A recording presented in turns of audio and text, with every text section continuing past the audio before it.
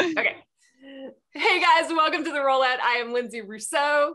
And I'm Genevieve Marie. Hello and welcome. Thank you so much for being here. Yay! Oh, we have three absolutely fantastic guests today. If you've seen the show before, you guys will remember Francesca Calo from our super fun episode where we played lots of games. And we have Diana Toshiko, and then we have Brian Patterson. Thank you all for being here. Thank you. Thank you. Thank you. Um, so a lot has been said talked about you know with regards to diversity in television shows you know with bridgerton coming out and then we had shadow and bone and so there's been a lot of opinions and discourse going on surrounding some of the different shows and you know who's doing it right who's doing it not so right who's trying and so we just wanted to you know kind of have a conversation about your all's thoughts on how hollywood's doing are they doing better? You know uh, so uh, you know uh, a couple of the shows that obviously have been talked about like we mentioned earlier have been specifically bridgerton with you know the blind casting shadow and bone with taking what was a white protagonist in the books and making her half asian in the show. Uh, and then you know you have lots of other episodes you know shows like legends of tomorrow and batwoman really talking about lgbtq issues um, and you know systemic police racism. and profiling so um, let's just dive in um, and see what you guys, what your thoughts are.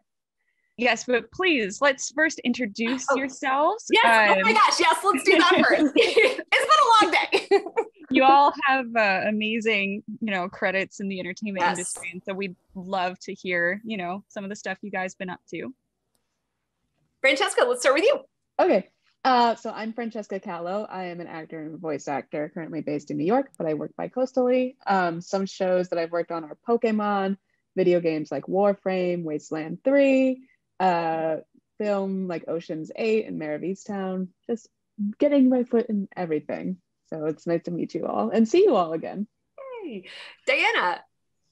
Hey, uh, I am Diana Toshiko. I'm an actress in LA and uh, I also do photography. I just did the uh, 2020 ABC showcase, which was amazing and awesome. Um, talk about representation. And then this year I did um, Good Trouble. I did a guest star on Dave, which is coming out, and uh, some mocap work.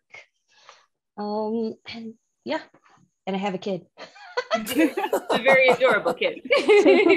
Thank you. Yeah. And Brian, uh, hi, my name is Brian. I'm a performer. Uh, I've been doing it for a long time. Um, I've been in over 120 commercials and industrials. I was a series regular on a TV show on the Reverie Network. I was under contract with San Francisco Opera for about seven years. And uh, I'm currently uh, producing some works while I just moved to LA right before the, um, the pandemic and the lockdown. And now I'm starting to uh, get my footing down here and figure out what Hollywood's all about. well, welcome. Thank you. We're glad to have you, even though the first year was a rough start. yeah, to right. say the least. To say the least. All um, right. So, yeah. um, Shadow and let's start with Shadow and Bone. I, my interests are actually um, probably going to be ping ponging because I just recently watched the two of them back to back is the differences between Shadow and Bone and Bridgerton and the casting choices that they made in both. Because for me personally, uh, coming from a theater background, Bridgerton kind of did blind casting and they kind of didn't.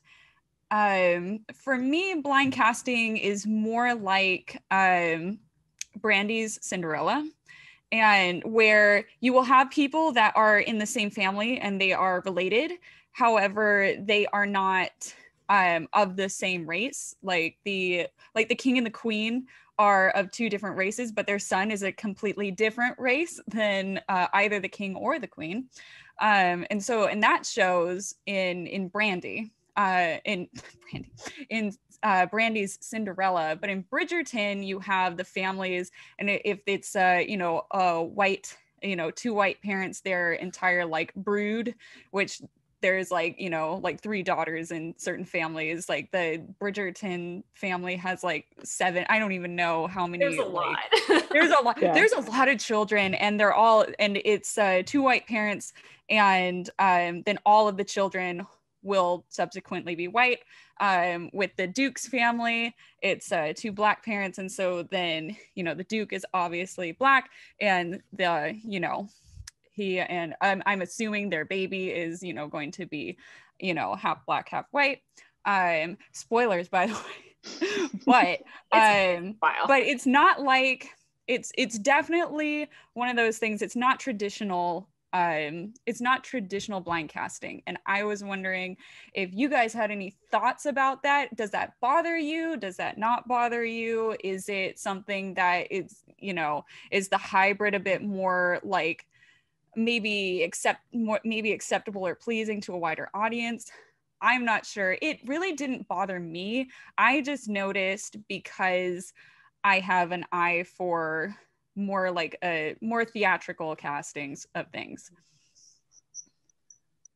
Genevieve, I know what you mean because uh, I also have been doing theater for a few decades, and it yeah it's it's weird when I see something and I'm like, oh, that's what they would do in theater, and then Yeah. you see it on TV and you're like, hmm, oh, okay, I see what you're doing here.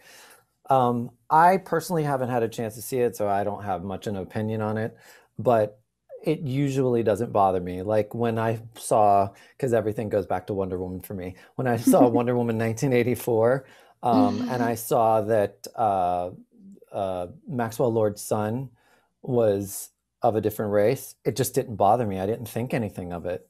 Um, right It usually just doesn't bother me yeah. Because that's I the like- world we live in, you know? hmm right exactly Francesca?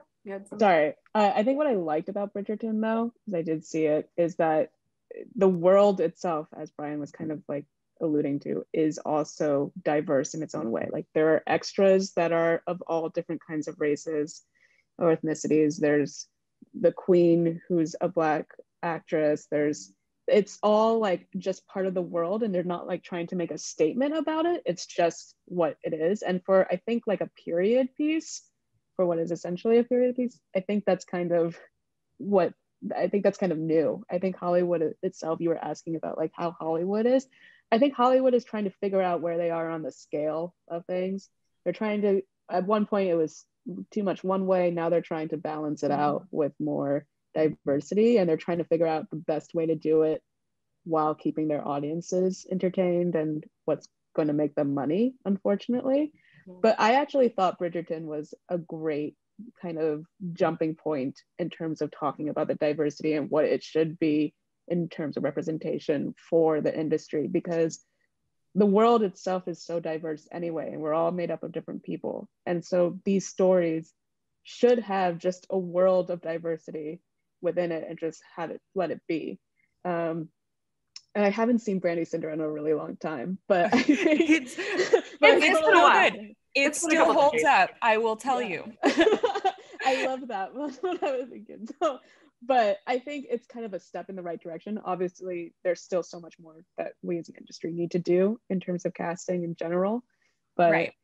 I thought Bridgerton, because you see period pieces that are either all white or if they're trying to be like edgy, they'll like pick another race and just stick with that race, and that's all everyone. oh that's be. true too yeah Yeah. So I think having the mix at least Mhm. was a step forward for Hollywood and people. Yeah. I felt like it was like a baby step forward because Yeah. they did keep it within the same family as like you were saying, Mhm. right Genevieve. Um, and they were trying to base it somewhat on uh, history because Queen Charlotte, you know, was possibly uh, half black or black, from my understanding. So that's why they casted it that way. But it's totally different with Shadow and Bone. Shadow Oh, and Bone it's- is yeah. fantasy, right? Yeah. Well, let's And- dive but- into that. Yeah, let's let's dive into that. Diana, yeah, what are your thoughts? Well, I think with Shadow and Bone, what they did with the main character when they changed her into half Shu, which is their like Chinese version, right, or Mang- Mongolian, um, I think they it was a very bold choice, and it's different from Bridgerton in in the fact that they tried to use it as sort of like a like a talking point, and they had characters comment it on it a lot, and were racist towards her a lot, where I didn't really see that on Bridgerton. Yeah. Um, mm-hmm. And so I overall enjoyed it. I just uh, I wanted there to be a payoff as to why she was half Shu. Like I there wasn't any comeback for her to be like, no, you're wrong about me, or let me educate about this, because she also was not educated about her history. So, you know, she didn't know what to say. But I hope there's a payoff later down the right. line. Season two. But yeah. what's interesting about Shadow and Bone is that obviously she she it wasn't like that in the books, but that also right. that that allusion to racism was also not in there, which I have kind of like mixed feelings about in some ways because I'm like, did you just want to try and make a point during this time, or what were you trying to do with like why was that necessary to the plot? Unless where's the payoff? Right. Yeah. Yes. That's like, right. Why... You mention it and, and yeah, it goes like, nowhere. Yeah. yeah. And the nations, I guess, are warring and they've had like a bad history with it, but it was very specifically like, yeah, these are very racist comments. There's like propaganda, like posters yeah. that they have. Oh my god, right? The and single propaganda like, poster that yeah. they don't make any like different right. types. It's the same one. Well, and yet we don't ever get to see any other Shu except for the one, you know, the trainer, the guy yeah. who's the trainer whose name I'm oh, there's, right there's background Asian people too. Right. And then, the, it's like, there's well, this... were you being racist to them too? Because we never see any of that. And then and we didn't see the... any. Go ahead. Sorry. I, I, I want to talk about it. Go, go. oh my God. and we didn't see any real racism towards like a cast uh Jesper who was yeah. black. Or and then like we sort of saw a little bit of racism towards, you know, uh uh oh my God. What is her name? Inej. Thank you. Uh, For because they were like Shisuli. Yeah. Right. Which is their sort of character. South Asian thing. Oh my God. Controversy with her, right? With the stunt double Oh my God. Wait, what controversy? What happened? You know? Oh no, I, I did not dig into any of this. well, I only know this because I read a lot of gossip magazines. It's horrible. horrible. But there was so controversy. So uh her stunt double, Nej's stunt double was not South Asian. Now, granted, they shot in okay. what Bulgaria or something, or no, mm-hmm. somewhere else. God, I'm, I'm terrible. But it was a it was a white girl with blue eyes and blonde hair, and they put a wig on her, which is common when you're stunt doubling, right? Yeah, because they've yeah. even put men in women's right, position. Exactly, they versa. do that all the time, right? Yeah. But um, it's controversial because they put this brown paint on her, so it was oh. sort of yes. And then she posted pictures of it. Yeah. Oh. And no one thought no one thought it was wrong. And this was horrible oh. because they had an Asian director, they had a half Asian woman who was a writer on Shadow and Bone, a half Asian lead, and none of them thought anything wrong yeah. about this person in brown face or yellow face. You know what I mean? And I was like, what the hell? So once that was posted, people were like, mm-hmm. the same yeah. thing actually happened on no, Star. Yeah, the same thing happened on Stargirl. Um, Angelica Washington, who plays um, oh, totally blanking Beth. Uh, I was in a um, a SAG stunt woman um, Zoom meeting maybe like a year ago, and she was saying her stunt double was white and she raised the issue from day one. And they're like, we can't find any Black people in Canada who are stunt women apparently was the argument.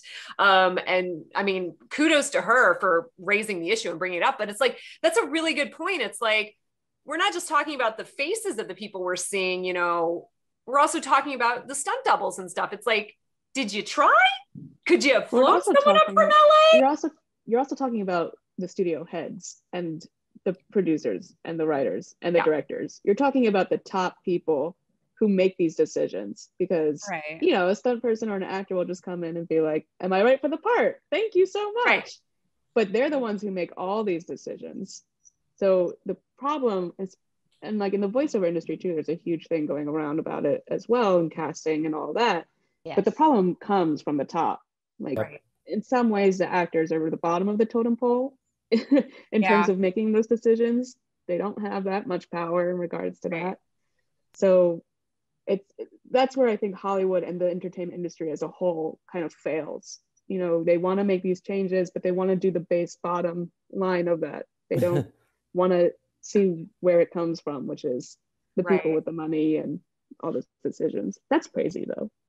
that's like, but if you want to go out of your way, excuse if there's no excuse if you want to go Yeah. out of the way and say we're changing the lead character to be half asian and we want Yeah. representation and yet behind the camera that doesn't matter as much do you know what i Yeah. mean like i'm like Yeah.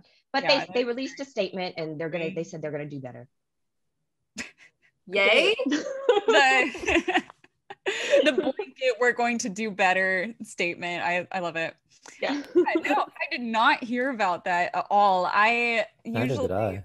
I usually I just binge the show and move on. but oh my god well that's that's the difference between you and me girl because i will literally if they if i see like an asian person I'll, i will immediately go on imdb and see if there was a director who is asian if there was right someone in the writer room who is asian because i just want to know if there's another voice behind there who knows what they're talking about right, yeah. right. like Kim's Convenience, like everything that went on with Kim's Right? Convenience. With oh that was horrible all those Got it. writers was yeah that whole situation was just a trash fire just Right? continuing to like burn very brightly but that was just bad yeah they need i think hollywood definitely needs to like rethink their diversity approach and at least include people at Right. least 50% of people should be a people of color or people of the global majority in my opinion so that you can Well, have and then you you've had people having the conversation um, with some shows that have come out recently saying that some people are capitalizing on racial tragedy. You know some of the the netflix shows that have come out where they're like okay it's it's another black story about racism and abuse you know? Well is this appropriate? Are we just you know telling is this the only type of story we're seeing about this? And someone you know one of the reviews genevieve and i watched about shadow and bone said the same thing. It was like you gave us this you know this asian lead and yet she's just suffering racism and pain over and over again and you know and i'm totally blanking on the names of the shows but two of those you know netflix shows that came out and people were just like oh my god this is so much violence and abuse and can we only talk about tragedy i mean or Brian, like that like, movie yeah karen Oh, Bullwinkle, a slavery Oh my story. God. Not again. Oh my god. it's like, but it's like you yeah. obviously have stories in but yeah brian what what are your what are your thoughts about Um, I I think that just like for um, hmm, go. What are my thoughts? I have so many. I don't know where to start. There's not enough time. There's not enough time. What do I do? this doesn't cut Can. I can I use a lifeline? No. um, I think that um, it's really interesting how, and I, and I'm going to use the LGBTQIA plus community for a minute. It's really interesting how they're like, let's make a gay movie. And I'm like, there have been gay movies for decades now. It's just you're getting them. Hollywood's discovering them. And it's because Hollywood is kind of this bubble. And as we all know, um, statistically, uh, about 70% of roles that are just written in Hollywood are, are for Caucasians. So you, ha- you have that bubble going on. And then they discover something and it's like, oh my God, I've discovered, you know, the Ark of the Covenant. And, um, but there are you know uh, eating out one two three four and you know and 18 probably now um, that have the eating out movies have been going on for like 20 years now which is a series of gay films. It's like a franchise. Um, but now that they're going mainstream it's like they want to tell all of these coming out stories and it's like dude we came out like 50 years ago. We're done with that. Why don't you just tell stories just about gay people being gay people like going you know having a breakdown a nervous breakdown or or you know losing their job or you know normal stuff. I don't want to hear another freaking coming out story. Uh, enough already. We're done. Let's let's not re-traumatize ourselves and let's move on. It's kind of the same thing with slavery. Can we stop telling slavery stories? We've done that trauma enough. Let's just tell stories about oh black people i don't know losing their jobs or having a mental breakdown the same things that everyone else does. But what's interesting is from that perspective you're going to find uh, microaggressions you're going to find you know um, economic disparity you're going to you're going to find reasons why these things happen instead of retelling just the story of sl- slavery. And i think the reason why we don't hear these normal stories with just a little bit of nuance or culture or whatever is because well they just don't know Mm. Which is going back to uh, Di- Diana, what you were saying earlier is, well, who's the below the people in the room. people? Who are the writers? Who are the Yeah. directors? You know, I mean, and there's been a couple shows that I feel like have have kind of seemed to do that. Like batwoman has been dealing with you know racial profiling and such you know but they have their every day-to-day lives. And you know the fact that they're lesbians is irrelevant and legends of tomorrow it's like oh we've got bisexual characters but nobody talks about it because it's just this is who we are. Um Can I just say I almost cried when I watched Kung Fu because I I I as cheesy as it is, it it was so like exciting for me to see, wow, there are Asians being just as cheesy as white people. This is amazing. It was so awesome. But then you also got some culture. You also got a taste of their culture. You also got uh, different types. Diff- you got some you know, geeky people. You got some people who were really smart. You got some people who just were really superficial. It was awesome to see that spectrum of Asian people in television. And I was so excited when I started watching it. It's because I like cheesy television too. but- at the same time, don't know. like, why do all the stories have to revolve around one? Like, why can't any story just have multiple people in it? Why does it, yeah, why does there need to be a conflict or of interest or anything like that? And probably because Hollywood is like, well, how can we make it dramatic and be like a, like a story about Asians or Black people or whoever, Spanish, etc. Like, but casting, like, why can't we just, if you get like a side that's for the best friend next door why can't that best friend next door be anything? Yeah. why do we automatically assume certain things? It's so funny because uh, I very much look up to Shonda Rhimes. I think she's really amazing when it comes to making television for everyone. And it always baffles me how everyone is like, oh my God, how does she do it? Like, she's so amazing. And I'm like, she just makes it like real life. How about that?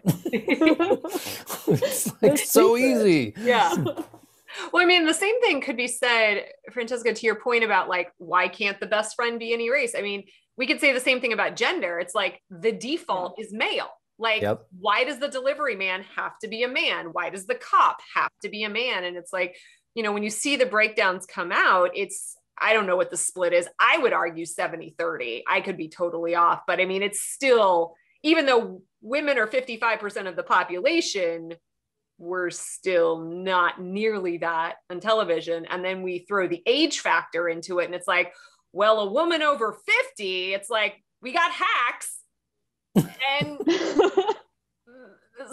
other stuff. I don't know. Or she, you know, she, she, there's, you know, a 60 year old guy and a 20 year old wife or something, you know, it's like those things, even with the Me Too movement, you know, I know when USC came out with their statistics, you know, for both gender and race, they're like, nothing's changed despite all of this uproar. Totally. It's it's amazing how everyone's it's everyone's talking about it. It's all the rage, at least that's what people are saying. But statistically, not much has changed at all. No, not at all. And that's I was so happy to see representation on Shadow and Bone. But yeah, I still see like the report that comes out year after year that like a very small percentage of Asian people are Yeah. seen. Even on a Shonda show, Yeah. where in a Mhm. hospital you should see tons of Asian nurses and tons of Asian doctors. Where are they? oh my god, that's so true. And even spanish and middle eastern people they also it's so hard like Yeah. there's been a talk in the voiceover world of like Mhm.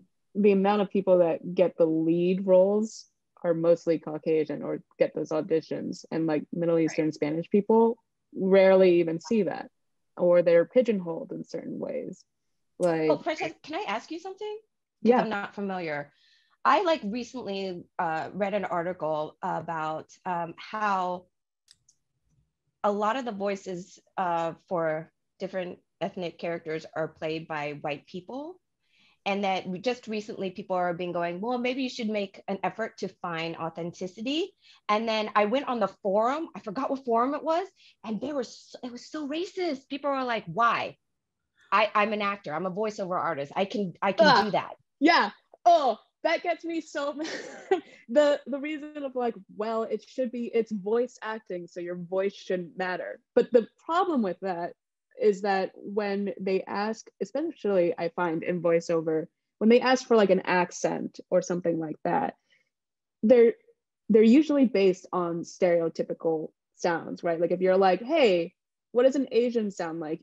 You can probably like think of a certain accent that people will be drawn to that they'll be like yes that's what an asian sounds like. But they don't take into the fact that asia includes russia and includes korea and it includes Asia Minor, Asia- japan japan yeah it includes everything.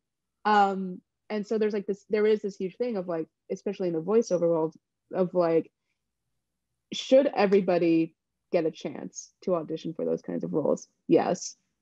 At the same time should if we go w- with what's authentic are you then going to be pigeonholing those types of people into just doing those types of roles.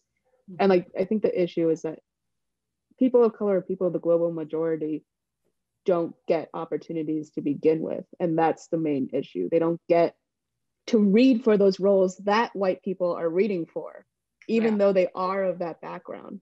So the fact that i mean yes like ideally voices shouldn't matter. It shouldn't matter. But the fact that people aren't getting them that's the issue. It's not the casting. And like like the simpsons um just fired uh what's his name? Not fired but he he stepped down hank azaria. Yeah hank azaria stopped with Apu and then they yeah. um, also changed. Dr hibbert was the other one yeah.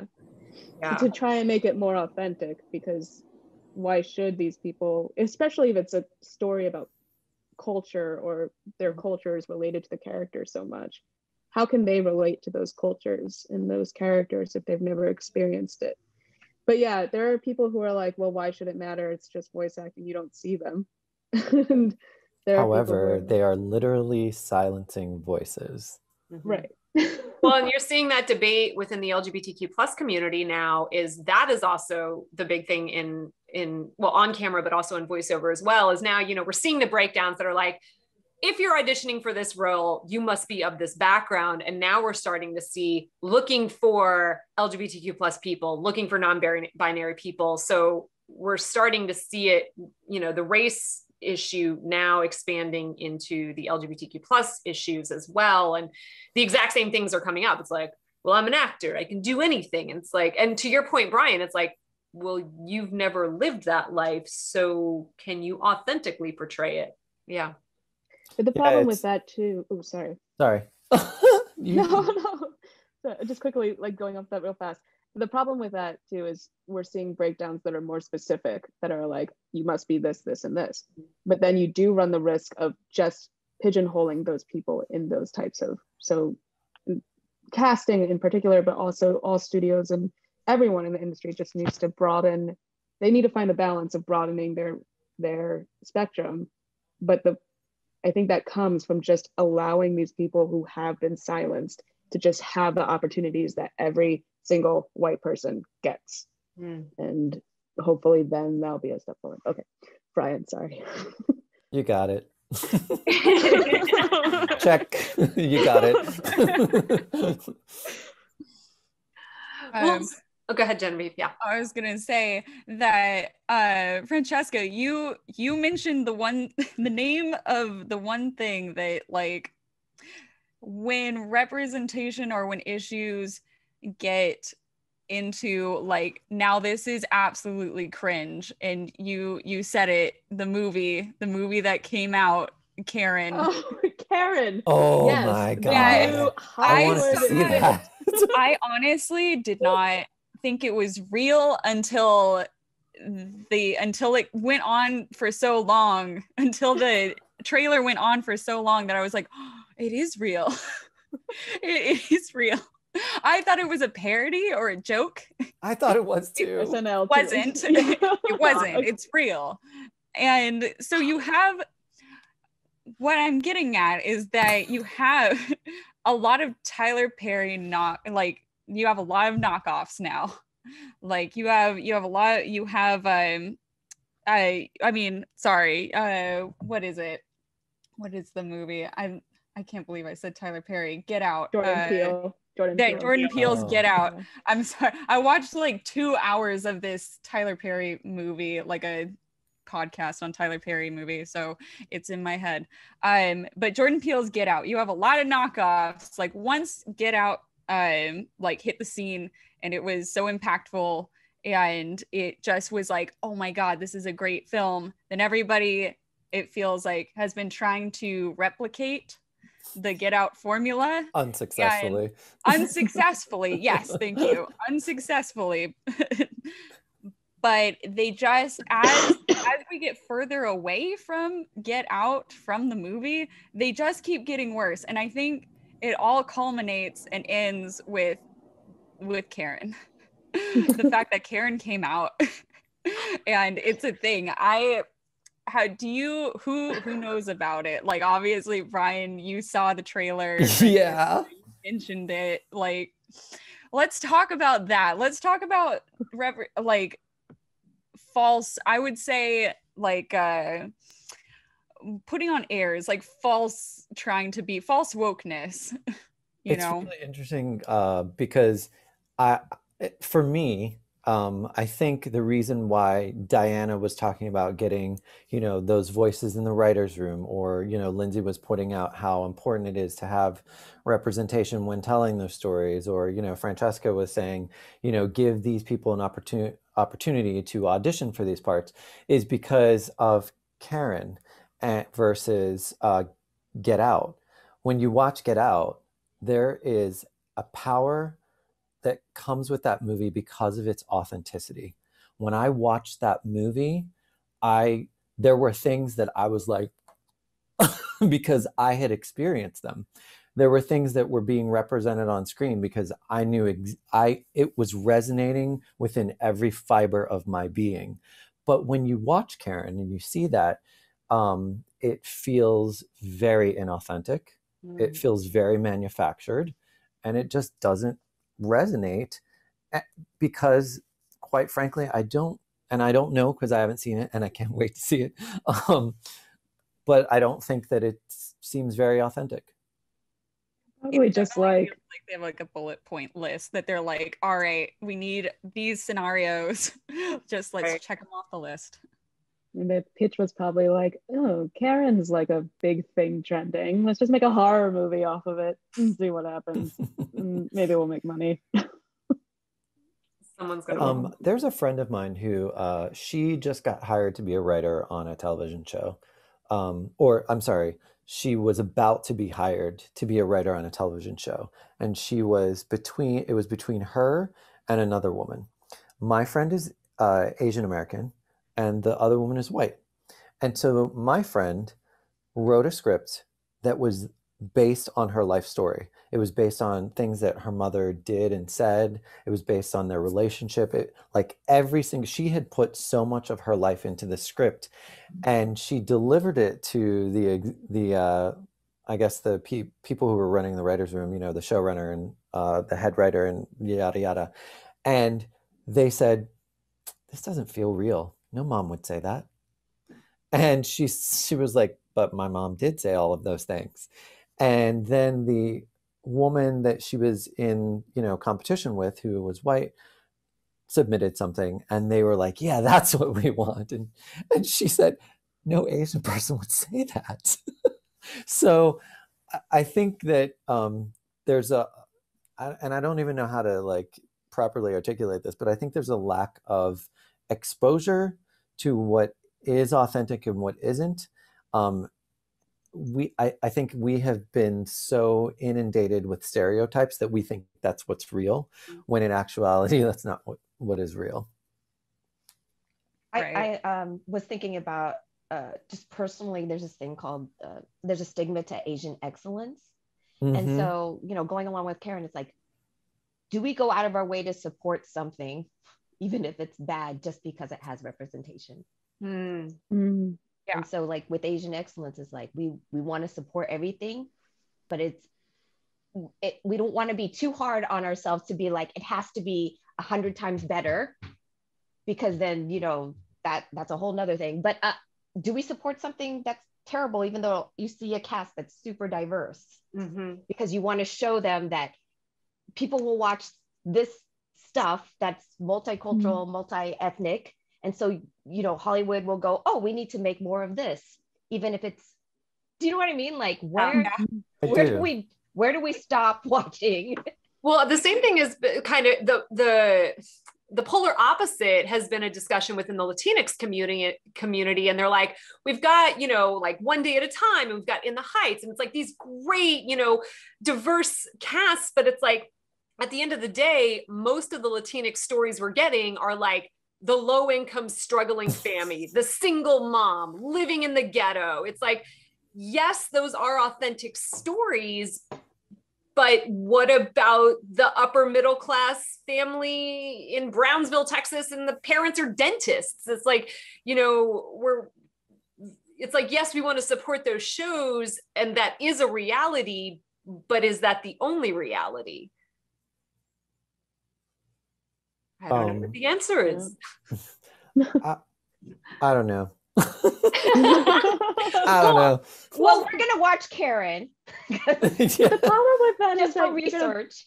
yeah, but then it's gonna get money. see, yeah, I see your your catch twenty two there. It's, it's gonna make money, and they're gonna be like, "Hey, this was good," and the and the people who are represented are like, "No, no, no, it was just ridiculous and not our lives." but that's why we saw it. Right. Yeah, I don't.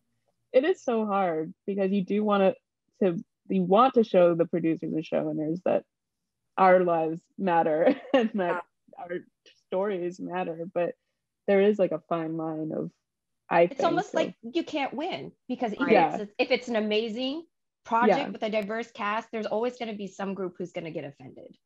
Yeah. Right. Right. like Right. I had uh flubbed up before and, and mentioned Tyler Perry. There are so many Tyler Perry movies out there that a lot of, you know, that are very some of the plot points of his movies are very controversial. Like a lot of um the community, I guess. I mean, they say that he really relies on a lot of tropes that just are damaging. Yeah, you know, like the angry black woman trope like he re- he leans on that a lot and um having seen just a few of his movies like he like i i would say maybe three in my life he's got like a million. But like yeah it, it is true. I i even like i'm white and i can even recognize that a lot of the stuff that he leans on is you know not it's, it's just like kind of crappy you know stereotypes. And like i but like I said, there are like a thousand Tyler Perry movies out there, and you just have to wonder, like, is like is the trash like it gets made? That's the thing, it gets made. And like clearly it's a formula and something that works, but is that what we want out there? Are these the stories that we want to like be perpetuated and you know continuing to be out there? Or like or do we have to like sit like sit and wait for you know a get out or a you know sorry to bother you but you got to wonder is this is Yeah. this you know do we wait for the you know it almost seems like either we accept like a lot like a whole heap of garbage or we have to wait until we have the oscar movies which those alone have so so much so so much baggage to them anyway. Well, obviously, that- like we had Moonlight a couple years ago, um, which you know everyone's like, "Oh, this has broken the formula." But again, it was it was kind of the black tragedy story, Brian, which you were touching on earlier. I mean, granted, you know, it was a fantastic film. The acting was just stellar. Um, yeah. Hmm. Hmm. Well, what do you, are there examples out there where you guys think they did it right? This worked. This is you know are there are there any examples that you're like yes and i think that speaks volumes in and of Right. itself the fact Yeah, that we're having it's like genevieve when we were doing the show about like the amazing you know amazing female characters in video games it's like oh we have to think about it it's not just it's not like automatically like you can i can probably like on one hand I can like probably like shoot off like, you know, five off the top of my head, but like it's it's difficult to get to the second hand and then it's almost impossible to like start counting toes, you know? Mm. like Like the ones it- I can think of are Black Panther. ones that aren't even oh Black Panther is a good one. Um or like Minari or Parasite, I enjoyed those Yeah. but- oh, because they Parasite, were yeah. interesting stories. But also like they weren't they were made by international right. directors. So there wasn't like Hollywood was like, yes, it just gained traction here. Um Antebellum, even though it was still de- dealing with, uh, I don't know, The slavery type. yeah. Um, and then there was one more. Oh, it'll come to me. Well and then you you had the issue with um which was the film that was uh it was nominated for an oscar for best foreign film and they're like this was made in america why is Minari. Minari, yeah it's like why is this Wha- in the foreign film You- category You Yeah. know the answer. i know You know the answer. We all know the answer. we all know Okay. the answer, Because it was the Golden Globes, right? It's the Hollywood Foreign Press. which is Oh. well we that's a Mm. whole other s- freaking episode right there the hollywood foreign press or, oh you know have only white You people in your I have been so far removed from the Golden Globes and the Oscars. it's because it's a joke it Like literally hear joke. Thankfully, Yeah. it came to light this year, and you know, celebs and it pulled comes to out. light like every year. I know, right? Every You're year like, something happens and you're like, but there's why? still no. They're all white still. Yeah. Okay, Yeah. that's great. Yeah. Oh my gosh. Yeah. Um.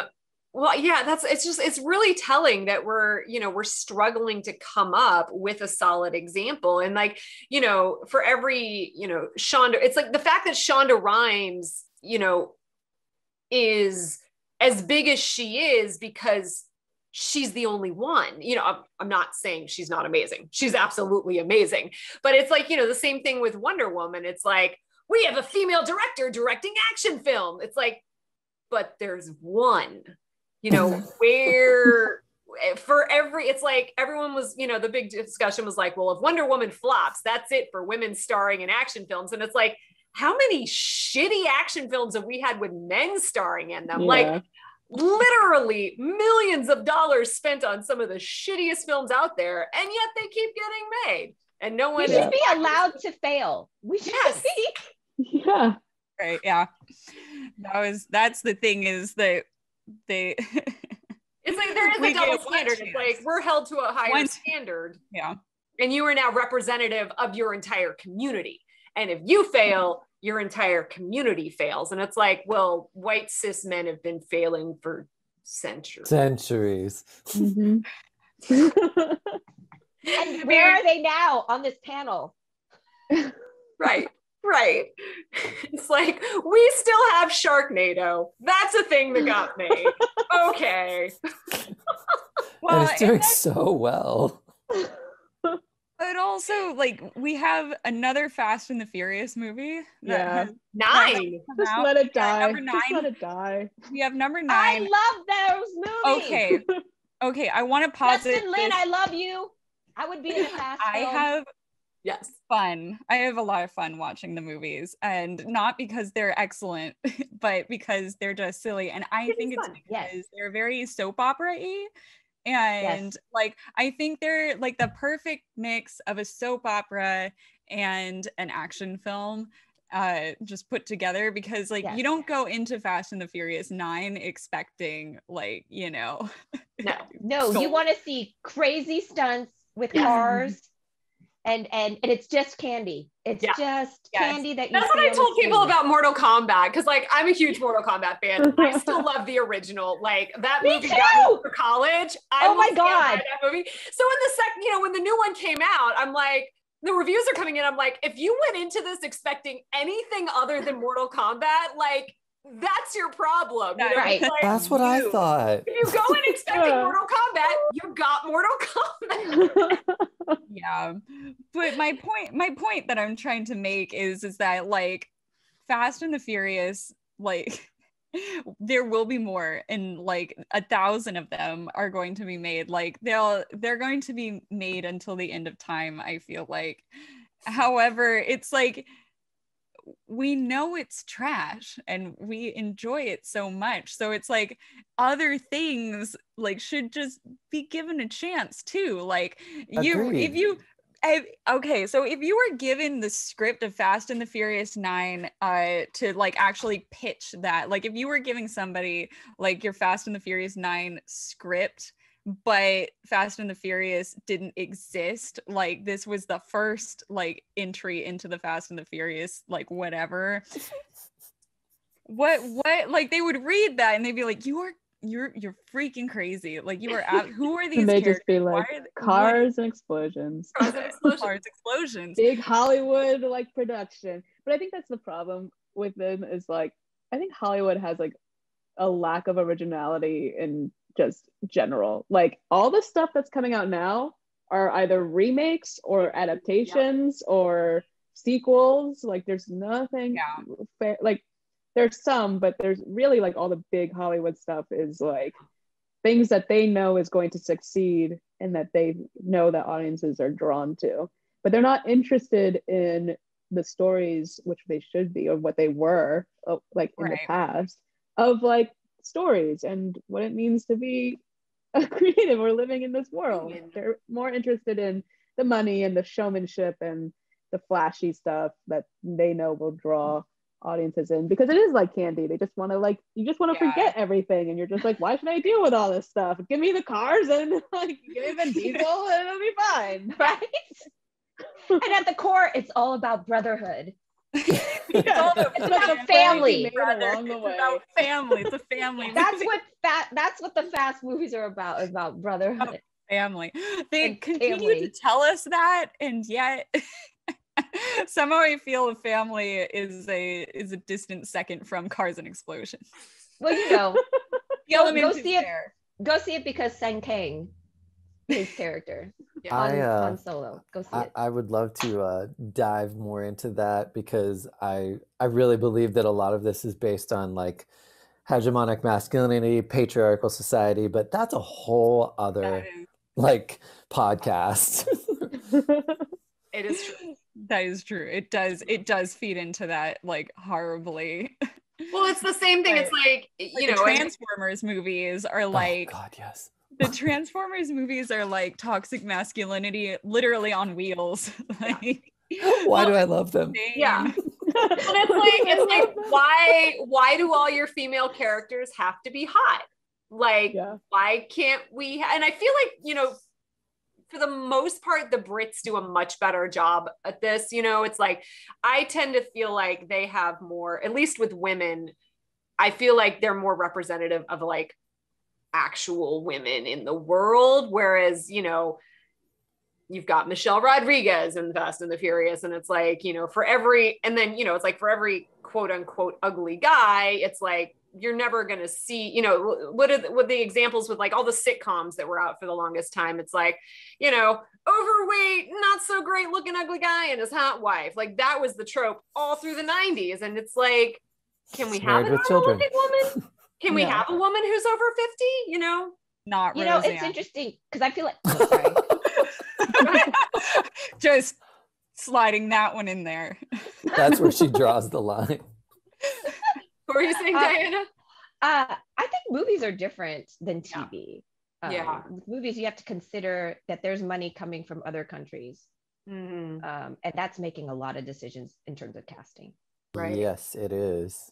So you know, there's a problem of sticking that one Chinese actor or actress in there just for a small couple lines because China's funding a lot of the film. Yeah. Yeah, and And they in- have a very clear idea of what Hollywood looks like to them. Mhm. So they want Mhm. Tom Cruise. Yeah. Yeah. Mhm. Well, there's also the censorship issues, especially with the It's- yeah. LGBTQ, you know, Mhm. community. Right. So Mhm. that's a whole other thing. That in the Marvel Disney films, uh, Mhm. where you'll get certain cuts that are absolutely The. US cut and the, yeah. mhm. Yeah. Uh, I forgot what it was. Um, again, me and my podcast, I do a lot of driving, so I listen to a lot of podcasts. I forgot what um I forgot what book series it was, but it got uh, a release in Russia. There, it's a it's an American author, and it got a release in Russia. And there was a not graphic, like there was there there's no like pornography in it, but there was a um, uh, LGBTQ um, uh, romance in it, and it was also it wasn't the main characters either. Um, but unbeknownst to her, her agent um uh, her publicist rather cut that out of the Russian version. And then she only realized it when a fan from Russia who said that they read the, you know, the English version and then bought it uh, in the, you know, the Russian version saw that that was cut out. That's how it was brought to her attention. And she's like, what? Like nobody told me that. And so now she's um basically blasting it all over twitter and like it's a whole big thing because it's breach oh. of contract. Um because they literally just changed her um changed her story without her permission yeah. So now she's in a whole legal breach of contract thing. Um, wow. But yeah, you've got a lot of that going on. Uh, not the breach of contract thing, but a lot of the omitting stories for international audiences. Mm-hmm. And especially because of the country, like the governments and you know the politics that are running the countries not necessarily it doesn't necessarily have anything to do with the citizens it's yeah different no, socio-political right. climates yeah, it's yeah. all the socio-political bullshit that you have to you know try and navigate. navigate. and i mm-hmm. feel i feel bad for for them because i feel like the their audiences are missing out yeah the stories yeah. because the government is not allowing that to be seen right if we think we're missing out right yeah. so, with all that being said, obviously, this is not something we can answer here in a matter of minutes, but like, what needs to be done to push the needle forward, to, to get us closer to, like Brian said, representing what actual life is like, you know, on the either the big screen or the small screen, you know? I'd say like if you're an artist, just uh, start making your own shit and uh, yeah, keep creating and just just saturate the market with mm-hmm. your stories. That's what I think. The more that's out there, the better, because there there are people out here, even in LA, that that don't know about a certain community or whatever and there's people in other states and other i just think the more that's out there the better so just even if it's trash. No, I'm kidding. it's fun trash. It's fun trash. it's fun, harmless trash. I love fun, harmless trash. I did like the first Transformers. Do you hate me? I'm a horrible person. I loved it. Okay. It's, Thank you, Brian. It's interesting. I think I was, I was disappointed. I wanted more. Well, with every Transformers movie, for me personally, I want more Transformers and less humans. Mm. Uh, I I would really not care if there was one human being in my Transformers. so, that's where you go to the animated series. Yeah, that's where it falls short for me. Uh, the live actions is is yeah. just like don't need humans in my Transformers film. Right. The cartoon's much better. Especially if you can't write for humans. you can't write human dialogue. Don't do it. Any other thoughts, Brian, Francesca? I think people need to like speak out too. You know, act specifically coming from actors' point of view. Like if you, for example, get a casting call that's like, I need a Spanish accent and that's not your wheelhouse, then being able to say, hey, I can't do this, but I know somebody else who can. And just uplifting everyone in the community and everyone together because I think that even though actors are on the bottom of the totem pole, we do have power. We can say no. And I think no is like one of the most powerful words you can say. And just gently educating people, whether it's casting or writers, and at the same time they had to be open to taking that criticism or whatever but right. gently like educating and continuing the conversation and making sure it doesn't die out and doesn't become like the next phase or whatever um, i think we as an industry just have to be willing to to speak out about it more and mm-hmm. defend everyone who's in it and look out for each other i mean there was like yes. discourse about like how when um, stop asian hate was trending how like black lives matter just suddenly didn't matter anymore like it can they they coexist we can right. they're everyone is facing their own problems and their right. every majority uh minority is facing their own difficult problems we have to be open to that and realize that and work together because otherwise we're just going to divide each other and it's going to be it's going to be hard right. so uplifting people speaking out continuing to educate i think that's the best way. Brian? Um this is a topic for me that i i think about quite a lot. And i think like what am i going to do? How do like how what can i do to change things? And I, I think that, as Diana said, you know, we have an obligation as artists to not only um, put that information out there, but also, like Francesca said, to raise our voice when we see that it's inaccurate. Um, I personally have been, and Linsay and I have been kind of like sort of talking about working on a project together because I really think that um, as and this is going to become a slightly esoteric conversation but i believe that as individuals we have uh, a three-pronged uh, obligation of personal responsibility empathy and objectivity i think that a lot of that is missing in our world and individually um, because if people for instance if a writer in a writer's room was more objective they would say okay, let's do some research and figure out how that person behaves. Let's go to these communities. Let's go talk to these people. Let's go, you know, um, do some literal research and information gathering that's near scientific that will give us the information to write these kind of stories authentically. Mm-hmm. Um, empathy, I think that to be able to go to those communities and see what you have in common with them um, and then a responsibility to to actually bring those voices and like francesca was saying to raise those voices with people who don't have them um, yeah. I really w- wish that there were a way we could work those three things into the education system from k through 12 right but you know that would be my answer in some ways this issue is like beyond even just the industry. Oh yeah. Oh, absolutely. Yeah, absolutely. Yeah. it seeps into everything. No. But, yeah.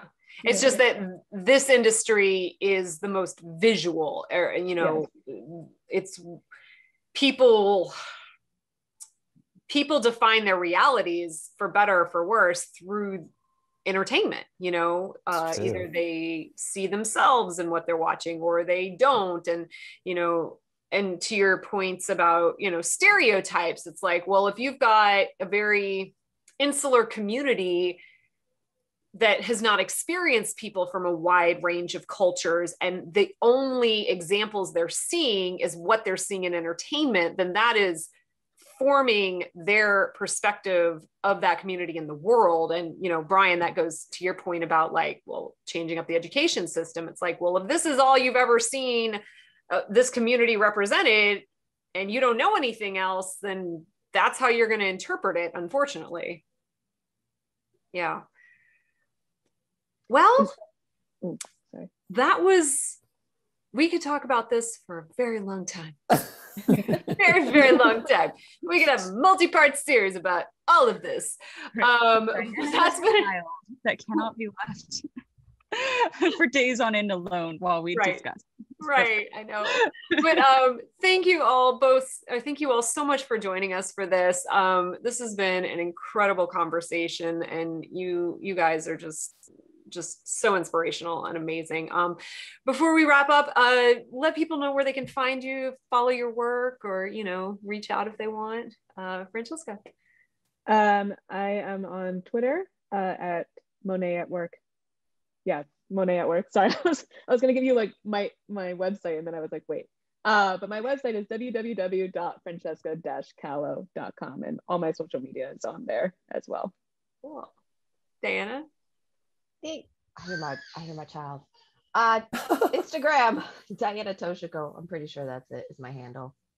Awesome, Brian. Uh, BrianJPatterson.com is my website. All my social media is there. You can find out anything about me. Um, Brian J. Patterson is Instagram, and BJP's tweets is Twitter. Yay!